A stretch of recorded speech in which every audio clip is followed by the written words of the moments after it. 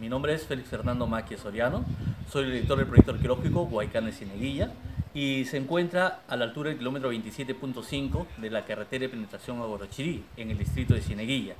Este es un sitio arqueológico privilegiado eh, dentro del Valle de Lurín y corresponde a los periodos Isma e Inca.